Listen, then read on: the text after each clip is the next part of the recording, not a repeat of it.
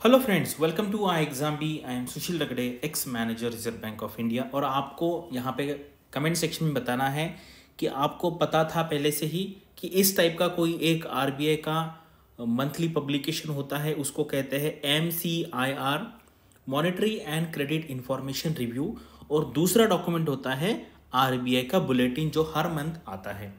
ठीक है? तो दो तीन टाइप के क्वेश्चन हैं। आपको कमेंट सेक्शन में कमेंट करना है। आपको पहले ये पता था क्या नहीं था? अगर आपको पता था तो आपने इसको पढ़ा है या नहीं पढ़ा है और आपका इसके बारे में क्या ओपिनियन है?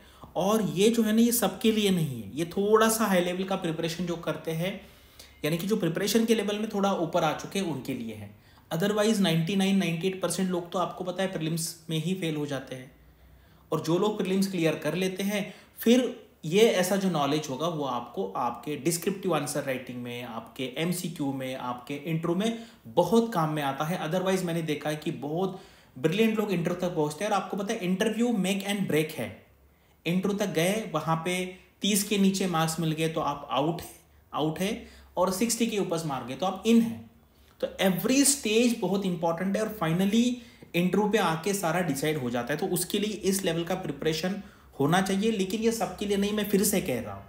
पहले आप ये इंश्योर कीजिए कि आपका प्रिलिम्स निकल रहा है, फिर बाद में इसके तरफ़ जाना है, ठीक है? तो मैंने जो क्वेश्चन पूछा, उसका आंसर तो चलो इसमें देखते हैं कि क्या क्या है, कैसी चीज़ें होती है एटलीस्ट ये वीडियो से आपको कम से कम ये तो पता चलेगा कि मुझे पढ़ना है कि नहीं पढ़ना है, ठीक है? तो चलो यहाँ पे वीडियो स्टार्ट करते हैं।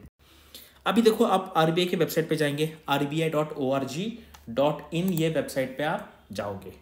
ठीक है? वहाँ पर आप पब्लिकेशन पे यहाँ पे क्लिक करेंगे। अदरवाइज़ देखो डेली का डेली ना बहुत सारा यहाँ पे आते रहता है।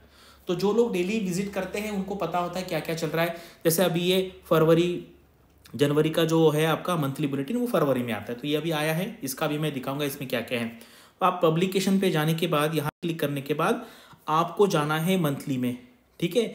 ईयरली है हाफ़ ईयरली है क्वार्टरली है बाय मंथली है, भी ऐसे काफ़ी सारे होते हैं। इसमें यह है आपका एम सी आई आर ये सिर्फ़ चार पेज का होता है। एवरी मंथ इसके पेज फिक्स है सिर्फ़ फोर पेजेस का है। तो महीने में अगर आप ये चार पेजेस पढ़ने के लिए वन आर ठीक है सिक्सटी मिनट्स आपको निकालने हैं। जस्ट हम्म, देख लेना है बहुत हाई क्वालिटी मटेरियल है। लोगों को पता ही नहीं है बहुत लोगों को पता नहीं यार ऐसे मटेरियल रिसोर्सेस होते हैं। और ये आरबीआई का बुलेटिन ये ज़्यादा बड़ा होता है one fifty two two hundred two fifty के पेज के आसपास होता है। इसमें भी मैं बताता हूँ आपको क्या क्या पढ़ना है, क्या नहीं पढ़ना है। अभी देखो, ये है कंटेंट अभी रिसेंट जो आया हुआ है। जैसे अगर एमपीसी हो गया है तो फिर governor statement monetary policy statement statement on development of and regulatory policy ऐसा जो आपको पता है रेगुलरली और ये क्या है मंथली बुलेटिन एक्चुअली अगर समराइज फॉर्मेट में बोले जाए, बताया जाए तो ये होता है पूरे मंथ में आरबीआई के वेबसाइट पे जो कुछ भी आता है, उसका सारा क्रक्स यहाँ पे आ जाता है। ठीक है यह है मंथली बुलेटिन अभी देखो स्पीचेस होते हैं और ये स्पीचेस इंडिविजुअली भी आरबीआई के वेबसाइट पे पब्लिश होते रहते हैं, ठीक है? तो यहाँ पे किसने है? डॉक्टर शक्तिकांत दास जी का है माइकल पात्रा सर का है, राजेश्वर राव सर का है, उसके बाद स्वामीनाथन जय सर का है, सर, स्वामीनाथन जय सर का और भी है। कुछ आर्टिकल्स होते हैं Indian economy state of the economy बहुत इंपॉर्टेंट आर्टिकल है करंट स्टैटिस्टिक्स है रिसेंट पब्लिकेशन तो ये बाकी ये वाला बहुत ज़्यादा होता है, आपको यहाँ पे इतना डीप नहीं देखना है। कुछ कुछ ही ऐसे और इंपॉर्टेंट इंडिकेटर्स है जो हमें देखने पड़ते तो ये हो गया इसका इंडेक्स कंटेंट चलिए, अभी आपको क्या करना है? आइडियली आइडियली जो बहुत सिंसियर लोग हैं, जिनको आरबीआई में जाना ही जाना है, जो जिनका फ़ेज़ वन का तैयारी अच्छा है फ़ेज़ टू में वैल्यू एडिशन करना चाहते हैं इंटरव्यू में भी अच्छा परफॉर्म करना चाहते तो वो लोग सारा पढ़ते हैं। लेकिन अगर आपको सारा नहीं पढ़ना है तो सबसे पहले ये टाइटल देख लेना है। Fundamental shifts in the global economy new complexities challenges and policy actions ठीक है? ये लेक्चर कहाँ पे हुआ है? ये नीचे यहाँ पे दिया होता है। और उस आर्टिकल में या स्पीच में उनको अगर किसी ने हेल्प किया है कभी कभी ग्रेड बी ऑफिसर भी हेल्प करते हैं ग्रेड सी है ग्रेड डी है, उनका भी नाम वहाँ पे आ जाता है, ठीक है? तो आपको आरबीआई में जाने के बाद ऐसा मौका मिलेगा। जनरली डी या डीएसएम के जो ऑफिसर्स होते हैं, वो बहुत यहाँ पे हेल्प करते हैं, उनका नाम भी आता है। मैं अगले साइड में आपको बताऊँगा। तो किसने ये स्पीच लिखा है, वो भी आता है, दिया है। तो अभी आपको एटलीस्ट ये यहाँ से ये इंट्रोडक्शन पढ़ लेना है एंड कंक्लूजन पढ़ लेना है। यानी कि कम से कम आपको इतना तो पता चलेगा कि जो गवर्नर सर है डिप्टी गवर्नर वो क्या कह रहे हैं और आर्टिकल किसके बारे में आइडियली क्या है? सारा का सारा पढ़ना है। अगर नहीं है तो एटलीस्ट इतना देख लीजिए।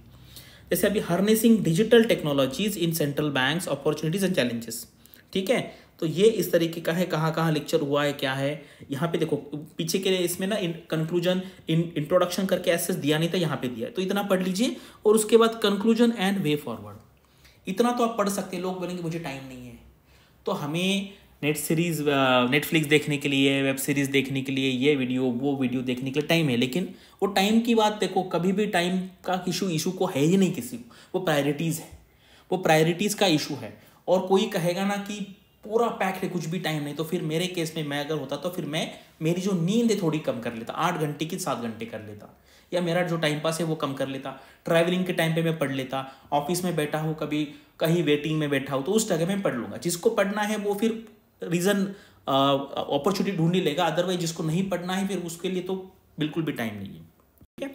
चलो स्टेट ऑफ़ द इकोनॉमी यहाँ पे इंट्रोडक्शन दिया हुआ है। देखो global GDP growth nowcast nowcast है नाउ कास्ट मैंने मेरे क्लास में दो बार पढ़ाया है। हमारा जो क्लास चलता है नाउ कास्ट का मतलब क्या है? अगर आप में से, जैसे आपने फोरकास्टिंग सुना होगा फोर फोरकास्टिंग तो नाउ कास्टिंग का मतलब क्या है? कमेंट सेक्शन में मुझे बताइए। ठीक है? नाउ कास्टिंग इंग्लिश पे मीनिंग पे मत जाइए। अगर आप इंग्लिश के मीनिंग में जाएँगे तो पचास परसेंट सही आएगा, पचास परसेंट गलत आ जाएगा। ठीक है? नाउ कास्ट बहुत सारे लोगों ने मुझे लगता है फ़र्स्ट टाइम सुना होगा nowcast N O W C A S T ठीक है? एक्चुअली ऐसा कंप्लीट वर्ड है ये. नाउ कास्ट बताना है कमेंट सेक्शन में, पता है क्या नहीं पता है? और फ़र्स्ट टाइम सुना है तो वो भी लिखिए. ठीक है? यहाँ पे पार्टिसिपेट कीजिए तो पता चलेगा बाकी लोग क्या कर रहे हैं और आप क्या कर रहे हो. ठीक है? उसके बाद देखो द स्पेशल स्पेशियल यानी कि ये स्पेस के बारे में है, ठीक है? ये स्पेशल होता है ना स्पेशल कोऑर्डिनेट्स देखो स्पेशियल यानी कि ये स्पेस के बारे में अलग अलग स्टेट्स के बारे में. डिस्ट्रीब्यूशन ऑफ़ इन्फ्लेशन यानी कि जब हम इंडिया की इन्फ्लेशन के बारे में बात करते हैं तो हमें एवरेज नंबर बताते हैं। लेकिन सारे स्टेट में तो इन्फ्लेशन सेम नहीं रहता है, अलग स्टेट में अलग भी रहता है। और मोस्टली ये देखा गया कि जो स्टेट्स इंटरनल पार्ट्स में होते हैं, वहाँ पे थोड़ा सा इन्फ्लेशन ज़्यादा रहता है। ये जनरल स्टेटमेंट है, ठीक है? जनरल स्टेटमेंट क्योंकि मान लीजिए, बाहर से माल यहाँ पे आ गया। कोस्टल एरिया पे, सारे जो कोस्टल स्टेट है, यहाँ पे आ गया। उसके बाद यहाँ से तो अंदर जाना पड़ता है ना लैंडलॉक स्टेट में। तो वहाँ पे वो ट्रैवलिंग का कॉस्ट बढ़ के फिर वो इन्फ्लेशन बढ़ जाता है। ये जनरल स्टेटमेंट है। कभी कभी बहुत सारे फैक्टर्स होते हैं, ये एक पॉइंट है। ऐसे हंड्रेड पॉइंट्स हो सकते तो अलग अलग स्टेट में अलग अलग इन्फ्लेशन होता है। इंटर में इस टाइप के क्वेश्चन आ सकते हैं। Reserve money and circulation currency circulation ये भी इंटर में क्वेश्चन आ सकता है। डिस्क्रिप्ट में भी आ सकता है कि सर्कुलेशन बढ़ रहा है या कम हो रहा है। आपको पता है नोट्स वापस लिए हैं। तो उसका ये इफ़ेक्ट है यहाँ पर, ठीक है? आपने देखा होगा डेट भी यहाँ पे देख सकते हैं कि कुछ डेट में स्पेसिफिक आप इवेंट देखते हो, उसकी वजह से कम ज़्यादा यहाँ पर होता है। अब यहाँ पे देखो the shape of growth compatible fiscal consolidation fiscal जो है फ़िज़िकल यानी कि आपका टैक्स के बारे में रेवेन्यू के बारे में एक्सपेंडिचर के बारे में। यहाँ पे इंट्रोडक्शन दिया आपको पढ़ना है। अभी देखो, ये बजट के बारे में भी यहाँ पे आया तो ये जो नंबर है, आपके यहाँ पे दिए हैं, जैसे डायरेक्ट टैक्स इंटरव्यू में आ सकता है, आपको पता होना चाहिए। डायरेक्ट टैक्स क्या है? जैसे परसेंटेज ऑफ़ जीडीपी कितना है? अगर पूछेंगे इंटरव्यू में तो अगर जिसको कुछ भी पढ़ा नहीं है तो वो, उसका नंबर आएगा नहीं। अगर आपने बोलेगा, बोला तो सर छः से सात परसेंट के बीच में तो भी चल जाएगा। ठीक है? उसमें ग्रोथ कैसी हुई है? इनडायरेक्ट टैक्स का कैसा है? ये भी आ सकता है कि डायरेक्ट टैक्स ज़्यादा है कि इनडायरेक्ट टैक्स ज़्यादा तो डायरेक्ट टैक्स यहाँ पे ज़्यादा है। ग्रॉस टैक्स कलेक्शन कितना है? ग्यारह, साढ़े ग्यारह परसेंट के आसपास है। Eleven point six, eleven point seven, इसमें कैसे ग्रोथ देखा गया है? कैपिटल एक्सपेंडिचर आपको पता है लास्ट ईयर हमने ये नंबर याद रखा था। ये याद रखना ही रखना है। आप जब डिस्क्रिप्टिव के आंसर लिखेंगे तो आपको लिखना पड़ेगा कि इंडियन गवर्नमेंट ने बजट में 10 लाख करोड़ का प्रोविज़न किया हुआ है कैपिटल एक्सपेंडिचर के लिए और इस साल का नंबर है 11.11 याद रखने के लिए भी आसान है। ये आपको बताना है इंटरव्यू में। आपको एमसीक्यू में भी आ सकता है। डिस्क्रिप्टिव आंसर में भी आपको लिखना पड़ेगा और फ़िज़िकल डेफिसिट का नंबर ये सेवनटीन लास्ट ईयर का, इस साल का 16.85 और ये ओवरऑल कितना परसेंटेज है? ये नंबर याद रखना। ये किसी ना किसी एग्ज़ाम में रेगुलेटरी बॉडी के एग्ज़ाम में फ़ेज़ वन फ़ेज़ टू में, इसमें से कुछ ना कुछ हंड्रेड परसेंट आएगा। आरबीआई नाबार्ड से भी फ़ेज़ वन फ़ेज़ टू में, ये जो स्लाइड में मैंने अभी बताया हंड्रेड परसेंट एग्ज़ाम में आएगा। मैंने ऐसे बहुत बार बोला है और वो बहुत बार सही भी हुआ है। अभी देखो ये एम के मैं बात करता हूँ। यहाँ पे क्या क्या होता है? रेगुलेशन के बारे में सुपरविजन के बारे में फाइनेंशियल मार्केट्स के बारे में foreign exchange debt management payment and settlement publication data इसके बारे में ये होता है। देखो क्रेडिट रिस्क ट्रांसफ़र के बारे में कुछ भी आया है यहाँ पर। उसके बाद पेमेंट बैंक के अगेंस्ट क्या एक्शन लिया? तो ये क्या है? चार पेज का डॉक्यूमेंट तो ये भी एक समरी है। बुलेटिन जो है, वो बड़े लेवल की समरी है और ये इंटरनल आरबीआई के अंदर क्या हुआ है? अलग अलग डिपार्टमेंट ने क्या क्या एक्शन लिया, वो है। Guidelines on import of the gold है गोल्ड है working group on the state government guarantees के बारे में है finances of panchayati raj institution तो ये चार पेज का डॉक्यूमेंट में आपको सारा डेवलपमेंट जो है इंपॉर्टेंट आपको यहाँ पर पता चलेगा। ठीक है? अभी हमने ये फिफ्थ बैच है, ठीक है? फिफ्थ बैच अभी हमने स्टार्ट किया है। फिफ्थ बैच देखो, चार बार बैच हमारी हो गई है, उसमें एक बैच कंप्लीट इंग्लिश मीडियम की भी थी, कुछ बैचेस मॉर्निंग में थे। अभी ये फिफ्थ बैच है मॉर्निंग के टाइम पे स्टार्ट होगा।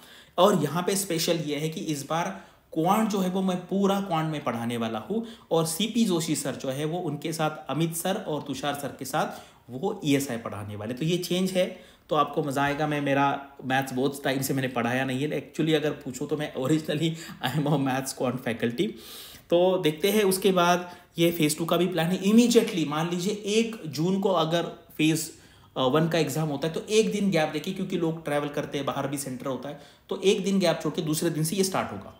ठीक है? टोटल फिफ्टीन मॉक टेस्ट हम लेंगे। एक्चुअल आंसर राइटिंग प्रैक्टिस होगा। एवरी डे होगा। एवरी डे होगा। यहाँ पे ई e मैं करूँगा, पढ़ाऊँगा।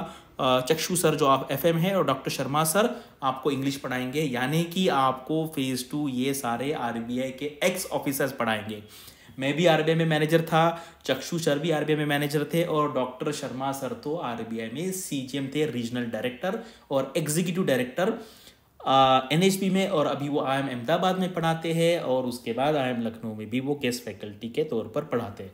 तो ऐसे फैकल्टीज़ आपको कहीं पर भी नहीं पढ़ाई, जिन्होंने एग्ज़ाम क्रैक भी किया है और जिनको ये सारा इंटरनल पता है किस तरीके से इकोनॉमी है, चल रही है, किस तरीके से आरबीआई फ़ंक्शन करता है और टीचिंग का भी काफ़ी एक्सपीरियंस है। तो यहाँ पर मैंने कहा है कौन मैं आपको पूरा पढ़ाऊँगा और सीपी सर जो है, अमित सर और तुषार सर के साथ आपको ई एस आई पढ़ाएँगे, ठीक है? हमारा बैच अभी स्टार्ट होने वाला है, यहाँ पर आप कॉल कर सकते हैं, ठीक है? आपको जहाँ पे ज्वाइन करना है, वहाँ पे ज्वाइन कीजिए, आप फ्री है और ये डिसीज़न आपको खुद को लेते आना चाहिए। हम क्या कर रहे हैं? मंथली थाउज़ेंड क्वेश्चन देंगे। अभी रिसेंटली हमने एक नाइनटी एमसीक्यू का सीरीज़ स्टार्ट किया है। हर वीक में आपको सर्कुलर के क्वेश्चन मिलेंगे R B N RBI NABARD SEBI के PIB government scheme national international reports and indices ये थाउज़ेंड क्वेश्चन पर मंथ मिलेंगे। और थाउज़ेंड क्वेश्चन हम डिस्क्रिप्टिव के भी देने वाले हैं, जहाँ पे आपको क्वेश्चन मिलेंगे और मॉडल आंसर भी वहाँ पर मिलेगा। एक्सक्लूसिव कोर्स है, जिसमें आप वन ऑन वन स्टूडेंट हमारे फैकल्टी के साथ डिस्कस कर सकते हैं, आप इंडिविजुअल प्लान ले सकते हैं, आपको क्या क्या करना है। पर्सनलाइज यहाँ पे गाइडेंस मिलेगा और यहाँ पे स्पेशल व्हाट्सएप ग्रुप भी है क्यू के लिए, जहाँ पर आप अपने डाउट्स यहाँ पर पूछ सकते हैं। अगर आपको इसके बारे में और इन्फॉर्मेशन चाहिए तो यहाँ पे आप कॉल कर सकते हैं। और अगर आपको स्टडी प्लान और उसके साथ हमने ट्वेंटी का फ़ेज़ वन का पूरा पेपर 200 के 200 क्वेश्चन उसके बाद ईएसआई e के 30 क्वेश्चन उसके आंसर और एफएम के क्वेश्चन थर्टी क्वेश्चन उसके आंसर्स और जो क्वेश्चन पूछे गए थे ई e में डिस्क्रिप्टिव के, और फाइनेंस के डिस्क्रिप्टिव के, वो सारा यहाँ पे दिया हुआ है। वो फ़ाइल नीचे है, वहाँ से आप डाउनलोड कर सकते हैं। और इसके बारे में कुछ भी क्वेश्चन पूछना है तो आप कमेंट सेक्शन में पूछे मैं सारे जो आपकी कमेंट्स है, वो सारा पढ़ता हूँ और उसका आंसर देने का ट्राई करता हूँ। Thanks for watching this video and all the best for your studies and upcoming examinations.